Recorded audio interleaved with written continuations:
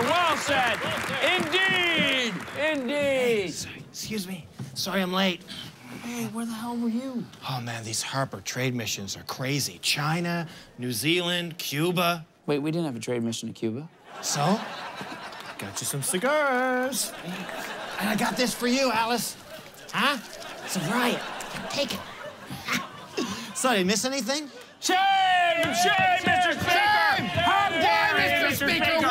Why? Shame! You disgust me! Why am I disgusted this time? What are you kidding me?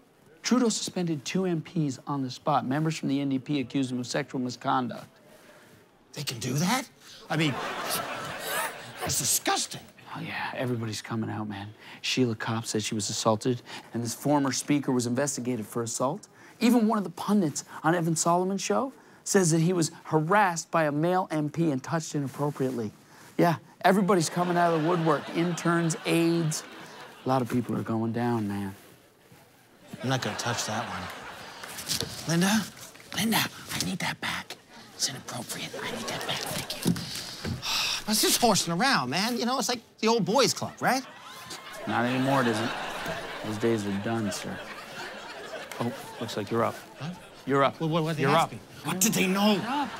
Mr. Speaker, let me just say that I am not at this time able to confirm if I did or did not hear the question, Mr. Speaker. But let me just say that should there ever come a time when anyone, be they conservative, NDP, liberal, Elizabeth May, female or male, sorry, Jerry, should come forward with an allegation, then I categorically deny any such allegation. Unless there's a tape. Is there tape? Because if there's a tape, then I am an addict and I need help. I am a sex addict, Mr. Speaker. Moi, je suis un addict de l'amour. And, and I may be an alcoholic too, you know, if that helps. As a matter of fact, Mr. Speaker, I'm just gonna step down now, okay? And let's not cause any trouble, okay? We're cool. Is everybody cool? I'm stepping down. Moi, je steppe sur la table, Mr. Speaker. Or Madame Speaker. You know what? The Speaker, because I don't see a sex. I just see a person. Robert. Thank you, Robert. Speaker. He just asked you how the trade mission went.